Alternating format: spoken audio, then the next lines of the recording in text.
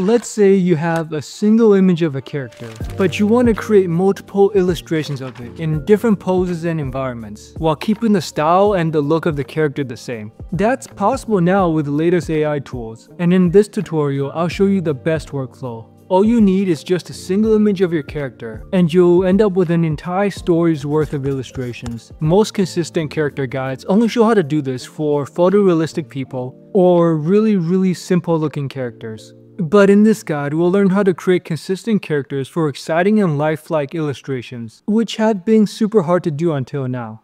A Sith's life, my life, is one of indulgence, power, and making an unforgettable impression. From the moment I embraced the dark side, I learned one thing. I'll show the rest of that animation at the end. The first step to getting a consistent character is just any 2D illustration you have. I'll start with this female Star Wars inspired character. I made her in Midjourney, but you can get them from anywhere. And afterwards, I also show an example of this Christmas Grinch cartoon. The method I'm showing works really well for non-human characters. And you'll want a plain background if possible. In step 2, we need to turn a single illustration of our character into a complete character sheet with different poses. Now, you could try to use an AI image generator to expand the original illustration to get more character poses, but it's super hard to keep the consistency of the original image. The hairstyle and colors change, plus it's difficult to get the exact poses you want, and it's even harder to maintain a consistent visual appearance. This is especially true if you're working with non-human characters, all the little details start to change, like the clothing or patterns in the fur. So instead, I'm actually going to use an AI video generator to create some different movements, and then extract the character sheet from those videos. For this task, I'll be using Hailuo's Minimax video generator. They recently released an update, which makes it the best for 2D animations in my opinion. I'll put all the links in the description. So let's go to the video creation tab and in the image to video interface, I'll drag in my female character. Then in the prompt, we just want some simple motions to turn our character a little bit and see them from different angles. A prompt like, she turns and walks to the side will work perfectly. And make sure you're using the I2V-01-Live model before generating the video to get the newest model. Then we'll generate the video. Some movement gets added to our character, but the consistency is preserved super well in terms of the clothing and physical appearance. I generated a couple different videos with different poses I can add to my character sheet, just simple things like hand gestures and body motions. When you've got the videos generated, download them to your device. The next step is to extract the images to create our character sheet. To do this, I'm using the SciCode Ezgif, where you can extract image frames from videos. In the video to GIF page, go to video to PNG, and I'll upload one of the AI generated pose videos here. Then to extract the image frames, look through these poses and find the one that looks the most consistent. Some of them will be a bit blurry, will have some slight deformations, but you'll find a couple of them that look pretty clean. Here I've got a folder with all the saved poses. I've also cropped out some of the images to get headshots. This isn't necessary, but if you want to be able to generate close-up shots of your character later on, you'll want to include some shots like these. Alright, so we're all set with our character sheet. Now it's time to go and train an AI model to specifically generate images of our character. To get a custom model for our character, I'm using OpenArt. It's an AI image creation platform. Go down to the Models tab and inside select Train Your Own Model. We'll be training a character model and give it any name like Female Villain.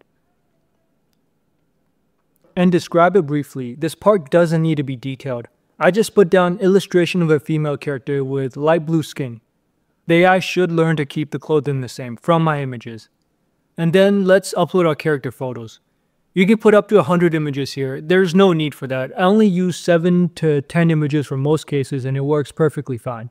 Then we can train the model, which finishes pretty quickly, usually in less than 10 minutes. By the way, make sure to subscribe if you want to see more guides like this in the future. I've already got a couple of models trained here from before though, so let's just create images of our characters with them.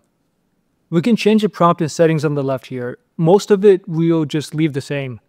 Then in the prompt, we'll describe our character again. She's got blue skin and wearing a red leather jacket and black pants. We'll have her sitting on a rock in a light green grassy field. And I'll add some robots in the background. Let's also change the aspect ratio so I want a wide image, so we'll turn up the width of the image here. And I'll also create three different samples I can pick from. Let's see what it comes up with. There's a pretty good variety of different poses, and our character looks great in them. You can download the picture or scroll down a bit, and there's some options to upscale the image or create more variations. By the way, when you're prompting, you do need to describe the clothing in some cases.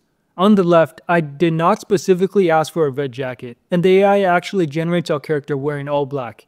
It's a cool fit, but I do want that red jacket. So on the right, I added red leather jacket to the prompt. It does like to generate similar poses as your training images. You'll see some of these with her striking a similar pose with her hips. But it's super flexible at generating new poses as long as you prompt for them, like sitting down or pointing her finger. When you're done with those images, you can also turn them into AI videos using the exact same process that I showed earlier. So back inside Hailuo, I'll upload this one of her on a motorcycle. And in the prompt, I'll put down, she turns and rides a motorcycle fast. These prompts do take a little bit of experimentation. I'll put a link in the description with a guide for how to prompt in Hailuo. Now let's take a look at the completed animation for our character. A Sith's life, my life, is one of indulgence, power, and making an unforgettable impression. From the moment I embraced the dark side, I learned one thing. If you're going to conquer the galaxy, you'd better look good doing it. The Jedi love their stoic nonsense, but I prefer a more theatrical approach. Red lips, black leather, and a lightsaber as crimson as blood. A girl's gotta make an impression, right? For the Grinch cartoon, I followed the exact same process. Starting with generating some AI videos with basic movements, the consistency in the appearance here is really impressive. Then I saved a set of character images as references, just some basic poses are good enough. And finally I trained an AI image model, just like with a female character. It's a totally different art style, and it's a non-human character. But this method still works perfectly fine, and we get some really amazing looking illustrations that completely resemble our original character.